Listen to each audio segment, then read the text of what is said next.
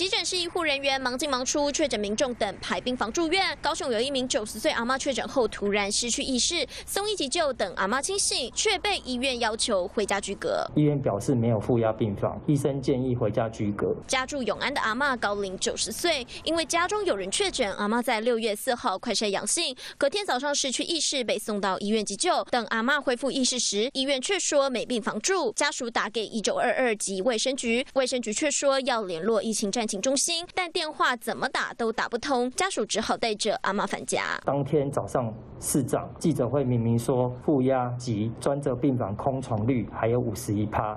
这是由于专业的呃这个诊疗的考量，由医院主治医师这边决定的事情，并不存在以没病房为由的这个问题。阿妈已经高龄九十岁，没有打疫苗，身上还有慢性病，家里住的又离医院远，完全符合中央规范，医院却不收治。卫生局说是医师评估没疫苗保护，还曾失去意识，家属无法理解。若一直没有病房收治，发生问题到底谁来负责？记者杨世武、罗彩瑶高雄报道。